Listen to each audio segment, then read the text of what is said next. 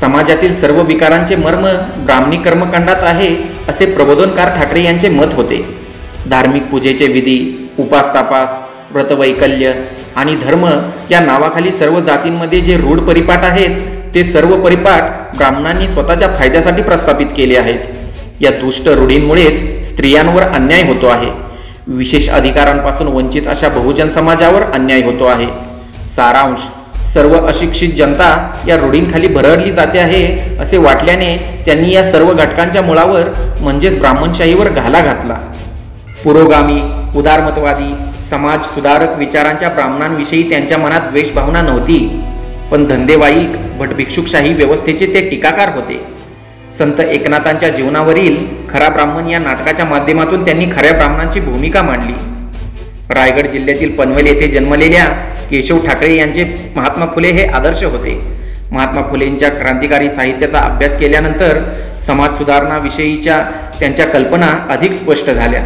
म्हणूनच महात्मा फुले यांचा पुण्यातील कट्टर सनातन्यांकडून छळ झाल्यानंतरच्या काळात त्यांचा लढा पुढे चालवण्यासाठीच प्रबोधनकार ठाकरे पुण्यात स्थायिक झाले.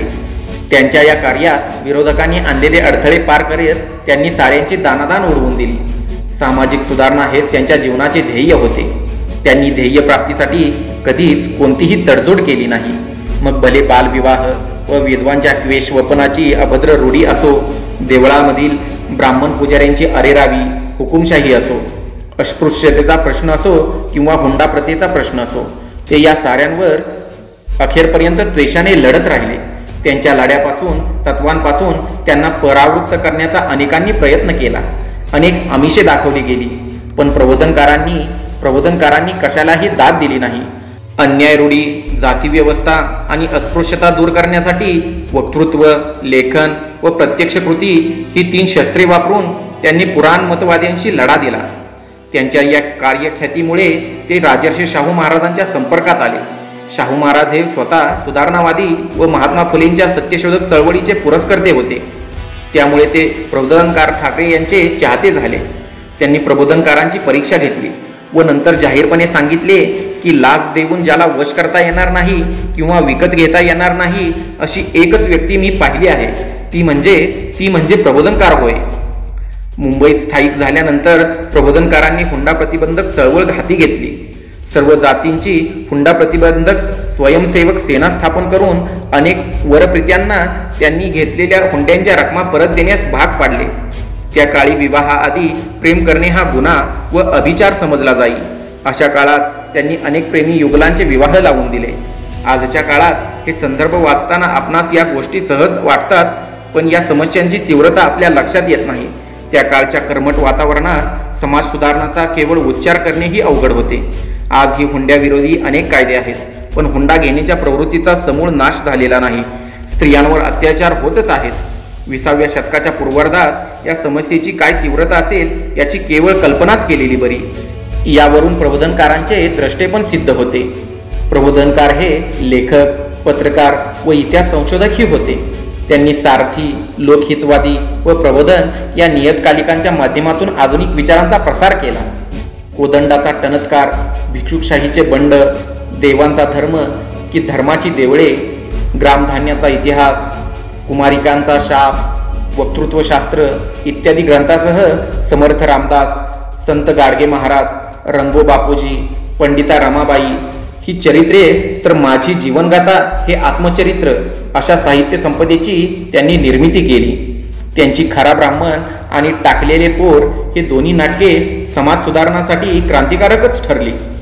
खरा ब्राह्मण नाटकाच्या प्रयोगाला परवानगी देऊ नये अशी मागणी पुण्यातील ब्राह्मणांनी न्यायालयाकडे केली असता न्यायाधीशांनी प्रबोधनकारांच्या बाजूने निकाल दिला होता. संयुक्त महाराष्ट्राची चळवळ हा त्यांच्या जीवनातील सर्वात महत्त्वाचा लढा होता. यावेळी त्यांचे वयही बरेच झाले होते. अशा प्रतिकूल परिस्थितीतही त्यांनी या चळवळीचे नेतृत्व केले. काही काळ कारावासही भोगला. या चळवळीतील त्यांच्या योगदानाची बरोबरी फक्त प्रल्हाद केशव अत्रे आणि श्रीपाद अमृत डांगे यांच्याशीच करता येईल. या चळवळीत त्यांनी वेगवेगळ्या विचारांच्या व्यक्ती आणि पक्ष यांना एकत्र बांधून ठेवण्यात यश मिळवले. अर्थात प्रबोधनकार कुशल संघटकही होते. प्रबोधन पाक्षिक काढण्यापूर्वी ठाकरे यांच्या सार्वजनिक कार्याची चर्चा सर्वत्र झाली होती. सामाजिक अन्यायाविरुद्ध उभे राहण्याचा ठाकरे यांचा निर्णय अभ्यासपूर्ण होता. इतिहास संशोधक वी का राजवाडे यांनी कायस्थ प्रभूंबाबत काही विधाने केली होती. त्यावर कोदंडाचा टणत्कार हा ग्रंथ लिहून त्यांनी राजवाडे यांची विधाने ऐतिहासिक पुरावे देऊन खोडून काढली होती. या प्रकरणी जागृतीसाठी महाराष्ट्रभर ठाकरे यांनी दौराही केला होता.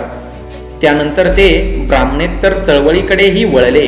चळवळी प्रचार करायचा इतरांच्या प्रचाराला उत्तर द्यायचे तर हाती तर आपल्या हाती वृत्तपत्रासारखे साधन असायला हवे. या जाणीवेतून वृत्तपत्र सुरू करण्याचा प्रबोधनकारांनी निर्णय घेतला. त्यावेळी ते सरकारच्या सार्वजनिक बांधकाम खात्यात नोकरी करत होते. सरकारी नोकरांना वृत्तपत्र चालवण्यास बंदी होती पण ठाकरे यांनी तशा परवानगी मिळवल्या. त्यानंतर सोळा ऑक्टोबर एकोणीसशे एकवीस रोजी केशव शेदाराम ठाकरे यांच्या प्रबोधन या पत्राचा पहिला अंक प्रसिद्ध झाला. पत्र पाक्षिक होते. पत्राच्या नावाबरोबरच उतिष्ठत जागृत प्राप्य वरानी बोधत असे संस्कृत वचन होते. म्हणजेच हे मनुष्यांनो उठा ज्ञानी माणसाकडे जा आणि ज्ञान मिळवा. ज्ञानी माणूस तत्वज्ञानाचा मार्ग ओलांडण्याच्या कठीण प्रवाहाची दुर्गमता सुलभ करतो. अधिक मूलभूत सुधारणा म्हणून सामाजिक धार्मिक सांस्कृतिक सुधारणांना प्रबंधन या पाक्षिकाने प्राधान्य दिले. गोपाळराव देवधर गोची भाटे गोम चिपळूणकर कर्मवीर भाऊराव पाटील आदींनी या पाक्षिकाला पाठिंबा दिला. त्यापैकी अनेकांचे लेखही पत्रात प्रसिद्ध होत असत. या प्रबोधन मासिकामुळे केशव सीताराम ठाकरे यांना प्रबोधनकार म्हणून ओळख मिळाली. मुंबईत परप्रांतीय विशेषतः दक्षिणात्य मंडळी मोठ्या संख्येने येऊ लागली. त्यामुळे मराठी माणसांची गैरसोय होऊ लागली. त्याला प्रबोधनने एकोणीसशे बावीसमध्ये सर्वप्रथम तोंड फोडले. तसेच पत्राच्या पहिल्या अंकापासूनच कवी वसंत विहार यांच्या समाजहितवादी कविता त्यात प्रसिद्ध होत असत. प्रबोधनचा अल्पावधीतच संपूर्ण महाराष्ट्रात प्रसार झाला. एकोणीसशे तेवीसमध्ये मुंबईत बसलेले बस्तान मोडून प्रबोधन साताऱ्यात स्थलांतरित झाले. तेथील काही कटू घटनांमुळे पुढे प्रबोधनकार पुण्यात आले. तेथे ब्राह्मण ब्राह्मणेतर वादात तेही पडले. काही ब्राह्मण मंडळींनी डिवचल्यामुळे पुण्यात छापखाना उभारून ठाकरे यांनी प्रबोधन मासिक आणि लोकहितवादी हे साप्ताहिक स्वरूपात सुरू केले. साहजिकच पुण्यातल्या वादात ठाकरेही उतरले. महात्मा ज्योतिबा फुले यांच्या पुतळ्याच्या प्रकरणात ठाकरे यांनी परखडपणे पुतळा विरोधकांचा समाचार घेतला. पण अखेर अखेर कंटाळून त्यांनी पुणे सोडले. मासिक व साप्ताहिक ही एकोणीसशे सव्वीसमध्ये बंद केले. ते मुंबईला परतले. त्यानंतर त्यांनी कधीही वर्तमानपत्र काढलं नाही. पण अनेक वर्तमानपत्रात ते वेळोवेळी लिहित राहिले. अत्याचारावर वार करत राहिले. अन्यायावर प्रहार करत राहिले. त्यांच्या लिखाणामुळे आणि विचारांमुळे प्रबोधनकार जनमानसांच्या मनावर आरूढ झाले.